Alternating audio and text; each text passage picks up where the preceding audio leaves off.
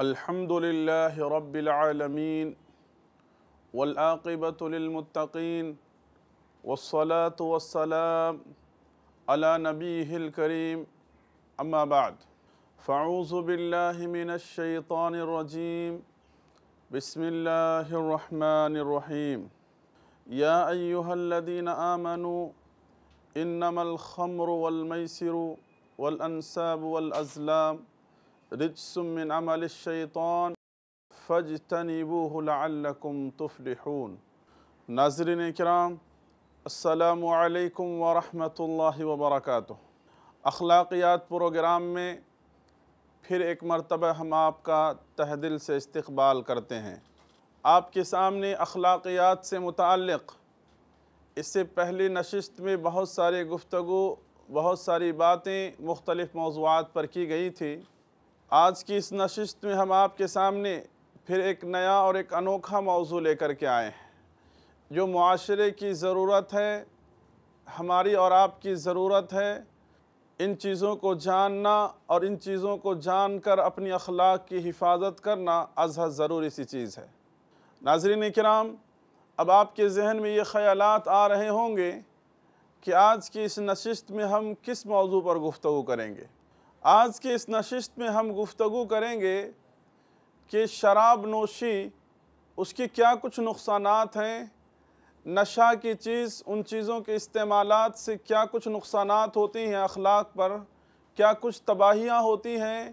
کیا کچھ بربادیاں ہوتی ہیں؟ ان تمام چیزوں کے تعلق سے آج کے اس پروگرام میں ہم جاننے کی کوشش کریں گے۔ اللہ سے دعا ہے کہ پروردگارہ ہمیں ان بری عادتوں سے اپنے آپ کو دور رکھنے کی نیک توفیق عطا فرما۔ آمین۔ ابھی جو آیت کریمہ سورة المائدہ آیت نمبر نائنٹی، جو آپ کے سامنے تلاوت کیا گیا، اس آیت کریمہ کے اندر اللہ تبارک و تعالیٰ نے فائنل ڈیسیجن، مکمل طور پر اللہ تبارک و تعالیٰ نے شراب کی حرمت کے تعلق سے اللہ رب العالمین نے اعلان کر دیا۔ شراب کی جب ہم بات کرتے ہیں، تو آپ کے سامنے کچھ میں ریفرنس اور سیاق کے طور پر یہ بات بھی بیان کر دوں کہ بالخصوص عرب کا جو ماحول تھا، جس ماحول میں نبی کریم صلی اللہ علیہ وسلم کی بعثت ہوئی، قرآن مجید کا نزول ہوا، اس ماحول کے جو لوگ تھے، بہت ساری برائیوں کے وہ رسیہ تھے اور برائی کرنے میں بہت آگے تھے وہ۔ اس لیے اس زمانے کو زمانے جاہلیت کہا جاتا ہے کہ ہر طرح کی برائیوں میں وہ ڈوبے ہوئے تھے۔ لہذا اسلام آنے کے بعد نبی کریم صلی اللہ علیہ وسلم کی بعثت کے بعد انہیں ان تمام چیزوں سے روکا جو چیز کہ ان کے اخلاق و کردار کو برباد کر رہی تھی۔ ان کے جسم اور ان کے صحت کو تباہ و تاراج کر رہی تھی۔ ان تمام چیزوں سے اسلام نے روکا اور ان تمام چیزوں کو اپنانے کا حکم دیا جس کے ذریعے سے صحت مند اور تندرست وہ رہ سکیں۔ اسلام کی جو بھی تعلیمات ہے وہ عین انسان کی فطرت سے تعلق رکھنے والا ہے۔ لہذا اسلام کی ہر تعلیمات میں انسان کے لیے فائدہ ہی فائدہ ہے اور اسلام کی تعلیمات کی مخالفت میں انسان کا پورا کا پورا نقصان ہی نقصان ہے۔ ناظرین کرام عرب کے لوگ جن کی گھٹیوں میں شراب بھری ہوئی تھی اور شراب کے وہ ایسے دلدادے تھے، ایسے رسیہ تھے وہ کہ شراب باقاعدہ طور پر ان کی وراثتوں میں تقسیم ہوا کرتا تھا۔ وراثت میں لوگ شراب چھوڑ کر کے جایا کرتے تھے۔ اللہ اکبر۔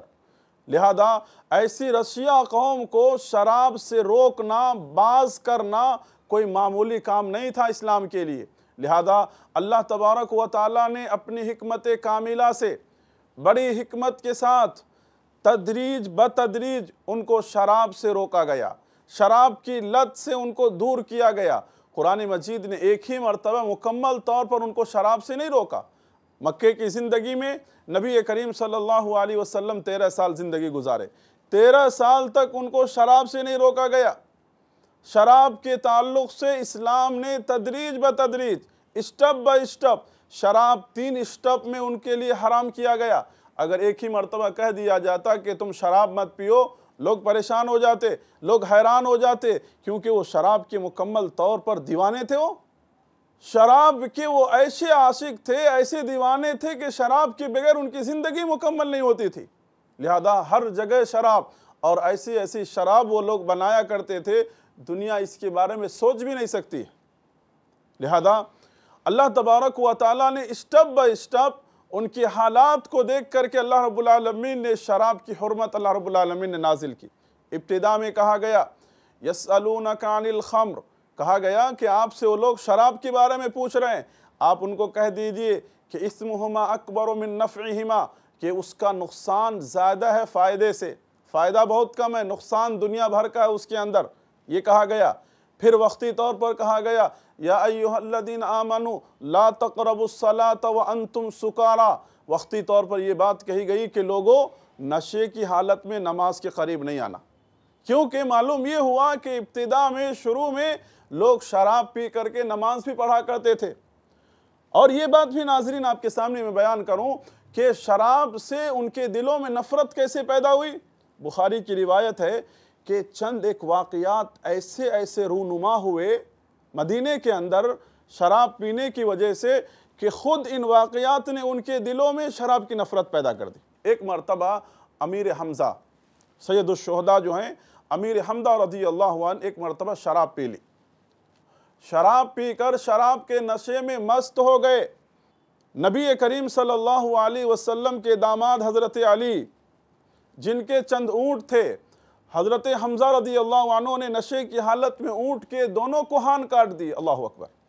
حضرت علی رضی اللہ عنہ کو جب یہ بات معلوم ہوئی، حضرت علی رضی اللہ عنہ حیران ہو گئے، پریشان ہو گئے۔ نبی کریم صلی اللہ علیہ وسلم کے پاس جب شکایت کی گئی، نبی کریم صلی اللہ علیہ وسلم حضرت حمزہ کو جب کچھ کہنے کے لیے گئے، تو نشے کی حالت میں تھے۔ نشے کی حالت میں مگن تھے، مست تھے۔ انہوں نے نبی کریم صلی اللہ علیہ وسلم کو نشے کی حالت میں کیا کہا؟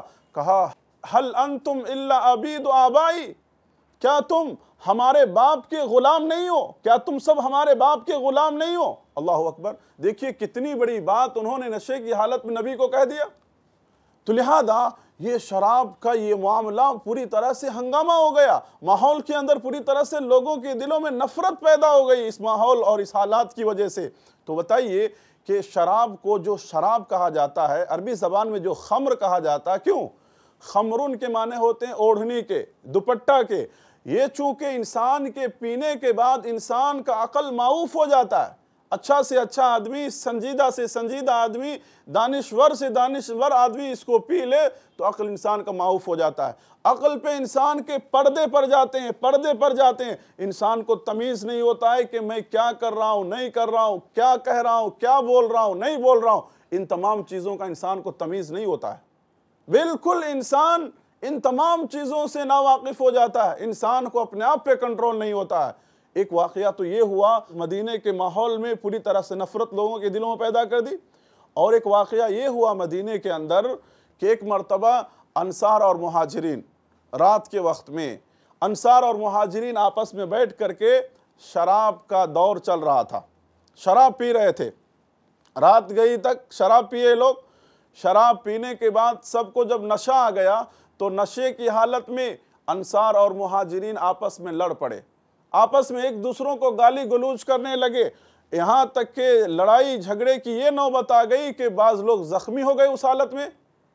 زخمی ہو گئے بعض لوگ۔ یہاں تک کہ یہ کیفیت نبی کریم صلی اللہ علیہ وسلم تک پہنچی اور خود اپنے کیے پر جب ان کا نشہ اترا، شرمندہ ہو گئے، نادم ہو گئے۔ پشے ماں ہو گئے ان تمام حالات کو دیکھ کر کے، تو یہ تمام کی تمام صورتیں شراب کی جو ہے، لوگوں کو خود بخود ان کے دلوں میں نفرت پیدا کر دی۔ تو لہذا اللہ تبارک و تعالیٰ نے بتدریج ان لوگوں کے لیے شراب کی حرمت اور شراب کی جو قباحت ہے شناعت ہے، اللہ تبارک و تعالیٰ نے ان کے سامنے بیان کیا۔ ایک ہی مرتبہ مکمل طور پر اسلام نے ان تمام چیزوں سے ان کے اوپر پابندی نہیں لگائی۔ لہذا شروع میں ابتدا میں بہت سارے مسلمان شراب پیتے تھے، شراب پی کر کے نماز میں آیا کرتے تھے، نماز پڑھا کرتے تھے، جیسے کہ خود حضرت علی رضی اللہ عنہ بیان کرتے ہیں کہ ایک مرتبہ مغرب کی نماز میں شراب کی حالت میں تھے۔ شراب کی حالت میں نماز پڑھ رہے تھے اور نماز پڑھتے ہوئے قرآن مجید کی ایک آیت سورة الکافرون کی تلاوت کر رہے تھے۔ تلاوت کرتے ہوئے کیا کہہ رہے تھے؟ قرآن مجید کی آیت ہے یا ایوہ الکافرون لا اعبد ما تعبدون۔ یہ نشے کی حالت میں کہہ رہے تھے، قل یا ایوہ الکافرون انا اعبد ما تعبدون۔ اللہ اکبر ولیعظ باللہ۔ دیکھیے کہ نشے کی حالت میں کیا سے کیا کچھ کہہ رہے تھے۔ یہ ایسے ایسے واقعات سب رونما ہونے لگے۔ لہذا اللہ تبارک و تعالی نے کہا، یا ایوہ الذین آمنوا، لا تقربوا الصلاة وانتم سکارا۔ جب تم نشے کی حالت میں رہو، جب تم شراب کی حالت میں رہو، تو ایسی حالت میں تمہیں کبھی بھی نماز کے قریب نہیں آنا ہے۔ نماز نہیں پڑھنا اس حالت میں۔ یہ ساری بات سمجھانے کے بعد قرآن مجید نے فائنل ڈیسیجن دیتے ہوئے کہا کہ یا ایوہ الذین آمنوا انما الخمر والمیسر والانساب والازلام رجس من عمل الشیطان۔ کہ لوگو، یہ جو ہے شراب یہ جو ہے جوا کاری یہ تمام کی تمام، یہ عمل شیطان میں سے ہے۔ عمل شیطان میں سے فَجْتَنِبُهُ اللہ تمہیں اس بات سے تنبیہ کر رہا ہے کہ تمہیں ان تمام چیزوں سے بچنا ہے استناب کرنا ہے۔ جب استناب کرو گے تو کیا ہوگا؟ ان تمام چیزوں سے استناب کرنے کی صورت میں لَعَلَّكُمْ تُفْلِحُونَ، تم کامیاب ہو جاؤ گے۔ کامیابی کی ضمانت دی گئی، کیونکہ شراب پینے کی وجہ سے شیطان تمہارے درمیان نفرت، دشمنی بغض، عناد، سرکشی، یہ تمام کی تمام چیزیں تمہارے درمیان پیدا کرے گا۔ اور ناظرین کرام، شراب ایک ایسی چیز ہے جو انسان ایک بار پی لیتا ہے، ایک بار اس کا رشیہ ہو جاتا ہے، تو انسان ان چیزوں سے اپنے آپ کو دور کرنا بڑا مشکل کام ہو جاتا ہے۔ بڑا مشکل کام ہو جاتا ہے۔ لہذا ان اخلاقی برائیوں سے روکنے کے لیے شریعت نے برائی کے پہلے دروازے پر ہی کیا کر دیا، پوری طرح سے روک لگا دیا۔ شراب کیا ہے؟ ام الخبائس ہے۔ شراب ام الخبائس ہے۔ شراب پی کر انسان بہت سارے گناہ کر بیٹھتا ہے۔ ایک شراب پینے والا نشے کی حالت میں زنا بھی کرتا ہے۔ شراب پینے والا نشے کی حالت میں قتل بھی کرتا ہے۔ شراب پینے والا نشے کی حالت میں اور بہت سارے غلط کام بھی کر بیٹھتا ہے۔ شراب پینے والا نشے کی حالت میں ماں بہن کے درمیان تمیز نہیں کرتا ہے۔ شراب پینے والا نشے کی حالت میں ماں بہن ان تمام کو گالی گلوج بھی کرتا ہے۔ انسان شراب کی حالت میں، نشے کی حالت میں کہاں پر پڑا ہوا ہوتا ہے، کہاں پر بیٹھا ہوا ہوتا ہے، ان تمام چیزوں کا بھی احساس نہیں ہوتا۔ ہے لہذا آپ دیکھیے معاشرے کے اندر جو لوگ شرابی ہوتے ہیں، شرابی کبابی ہوتے ہیں، شراب پینے والے ہوتے ہیں، دیکھیے گندے نالیوں کے کنارے پڑے ہوئے رہتے ہیں، کچروں کے ڈھیر پر پڑے ہوئے رہتے ہیں، انہیں احساس نہیں ہوتا ہے کیا بک رہے ہیں، کیا کہہ رہے ہیں، نہیں کہہ رہے ہیں، ان تمام چیزوں سے وہ ناواقف ہوتے ہیں۔ لہذا نبی کریم صلی اللہ علیہ وسلم نے انہی حکمتوں کے تحت شراب کے متعلق دس افراد پر آپ نے لانت بھیجی۔ دس افراد پر آپ نے لانت بھیجی۔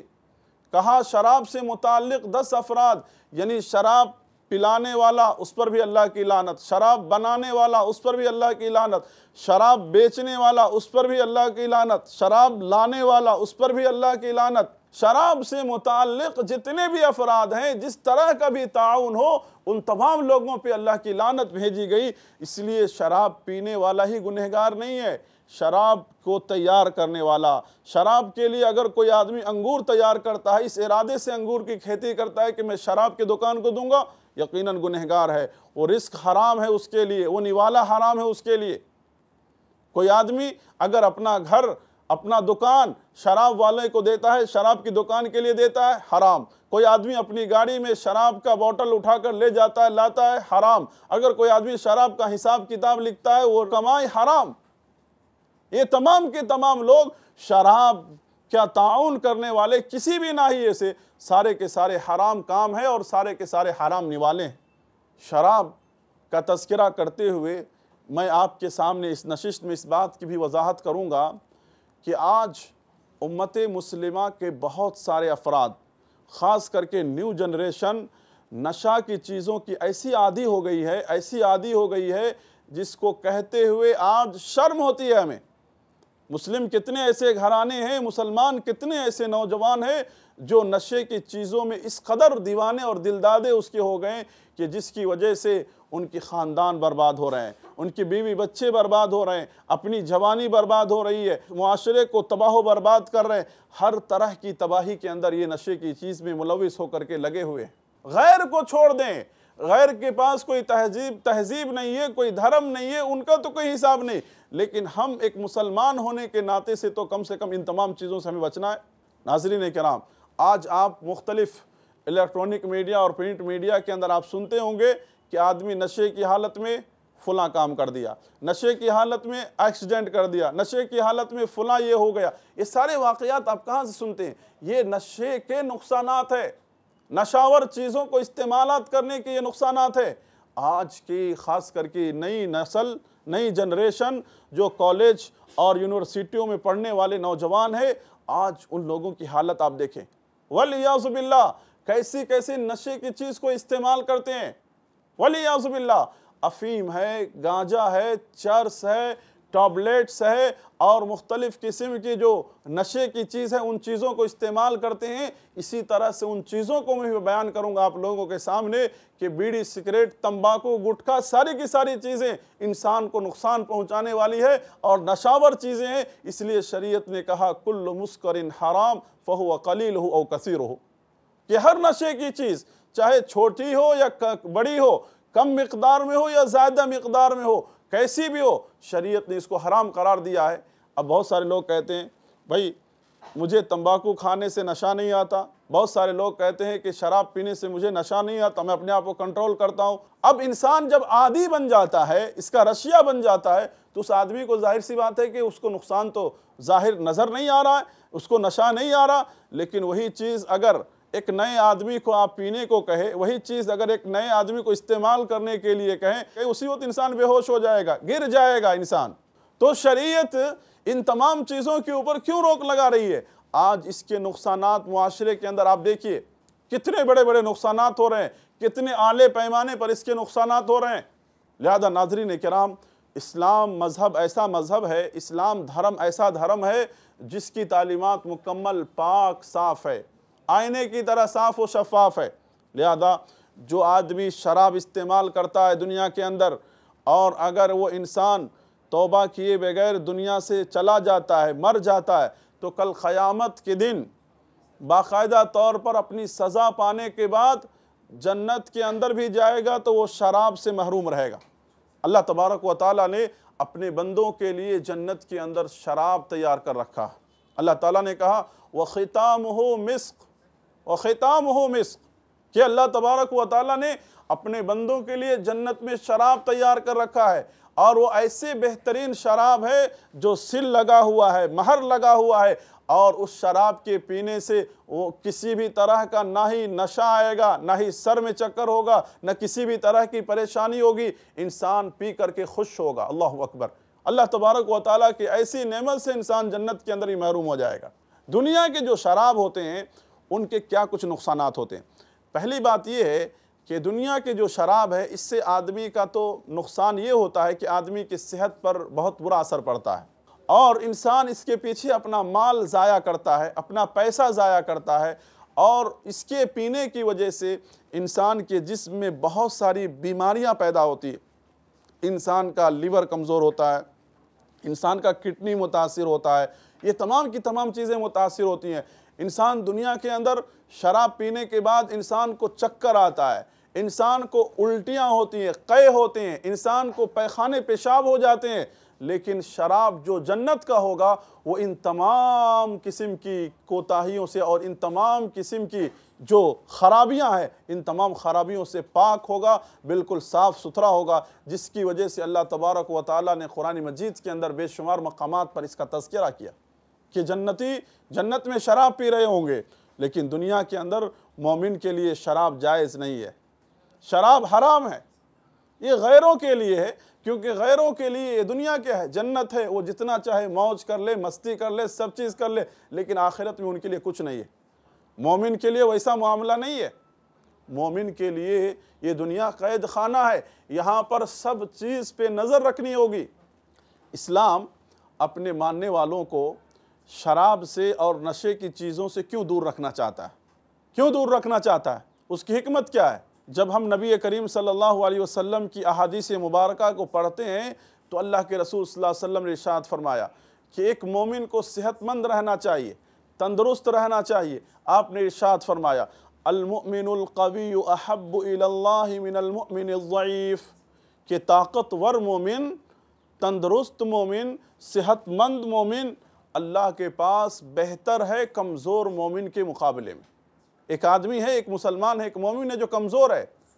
آپ ایک آدمی ہے جو تندرست ہے صحت مند ہے، تو صحت مند آدمی یہ صحت مندی کے عالم میں عبادت صحیح طریقے سے کر سکتا ہے۔ اسلام کے لیے اپنے آپ کو، اپنے آپ کو وقف کر سکتا ہے۔ جہاد فی سبیل اللہ کے لیے اپنے آپ کو تیار کر سکتا ہے۔ اعلاء کلمت اللہ کے خاطر اپنے آپ کو لگا سکتا ہے۔ اور اللہ کی دین کی حفاظت اور محافظت کے لیے ہر وہ کام کر سکتا ہے۔ لیکن وہی جو ایک کمزور انسان ہے، ایک ضعیف اور نحیف انسان ہے، وہ ان سارے کاموں کو انجام نہیں دے سکتا ہے۔